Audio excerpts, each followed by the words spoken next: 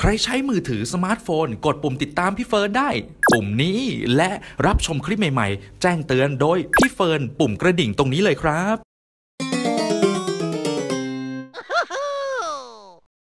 สวัสดีครับ วันนี้พี่อิงนะครับ อยู่ที่โรงพยาบาลนะครับผมอพอดีว่า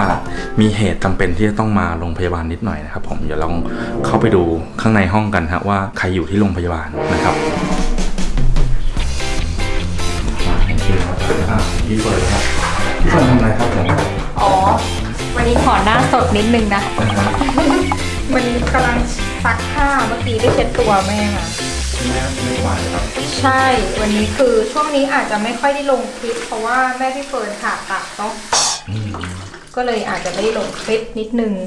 ทำไมผ่าตัดครับแม่พี่เฟิร์นเป็นพออะไรดีว่าแม่พี่เฟิร์นเนี่ย เป็นหมอรองกระดูกทับเส้นประสาท โอ้ ก็เลยต้องผ่าตัดคือมีอาการว่าปวดหลังมากแล้วก็อ่า เดินไม่ได้อืมก็เลยคือจริงๆเคยผ่าไปแล้วครั้งหนึ่งที่ครั้งที่สองครับ ก็น้องคนไหนนะครับ เมนต์ให้กำลังใจคุณแม่พี่เฟิร์นได้เลยนะครับผมก็ค่ะเมื่อกี้พี่เช็ดตัว เพราะว่าช่วงเนี้ย หลังผ่าตัดค รั้งเนี้ยคือ หมอเขาให้นอนราบสามวัน อืมแม่พี่ก็เลย นอนราบนอนส้มตำได้ไหมครับ ได้อยากจะส้มตำเนี่ยก็เลย ก็เลยต้องเช็ดตัวให้ แม่ก็กินข้าวบนเตียง ช่วงนี้แม่พี่เฟิร์นได้นั่งกินนอนกิน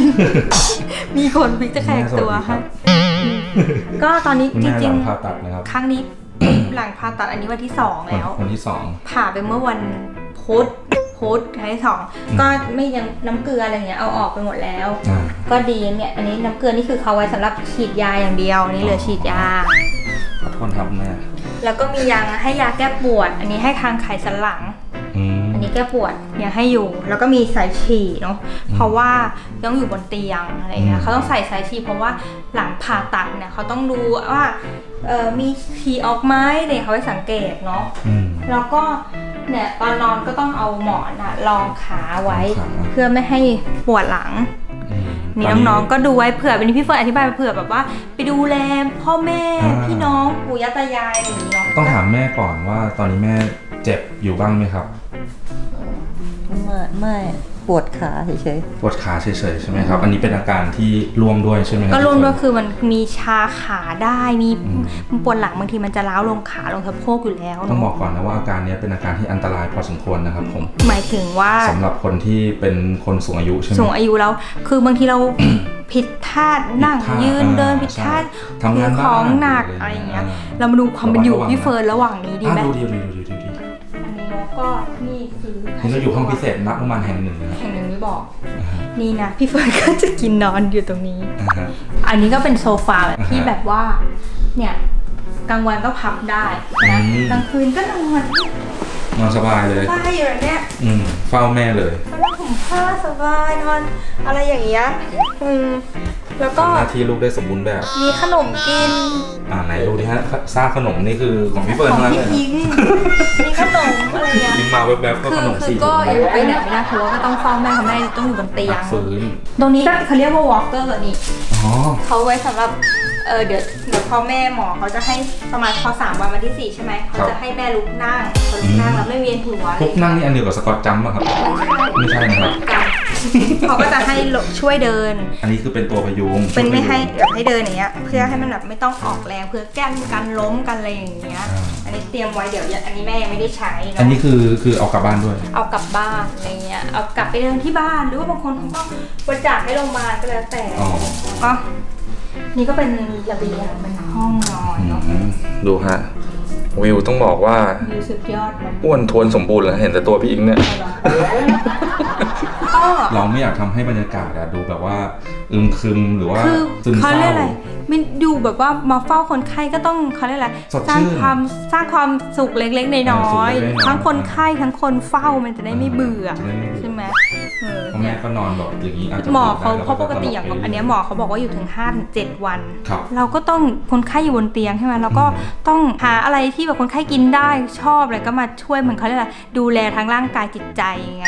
ไม่งั้นมันก็เซ็งใช่ไหมอยู่โรงพยาบาลอยู่บนเตียงอย่างเงี้ยเขาต้องดูทั้งหมดทั้งร่างกายจิตใจอย่างเงี้ย เอออันอันนี้น้องๆ อะอะพูอะดถึงอันนี้ตัวนี้ครับ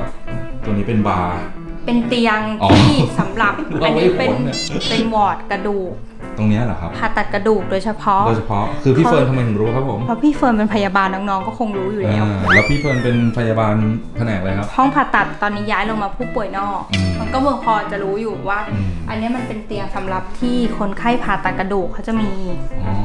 เป็นพวกนี้เลยนะครับ คือเพราะบางทีคนไข้เขาต้องดึงบางคนแขนขาหักหรือว่าผ่าตัดอะไรอย่างเงี้ยมเขาจะต้องมีแบบว่าเครื่องระยงระยางเงี้ยเขาก็จะขึงอย่างตัวเนี้ย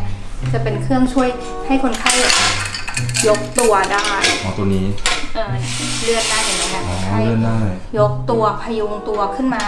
อืม ตัวเนี้ยเออหรือบางทีอย่าสางเงี้ยล้วนเลยเนี่ยอันเนี้ย เออหรือบางทีอย่างเงี้ยตัวบางทีคนไข้เขาต้องใส่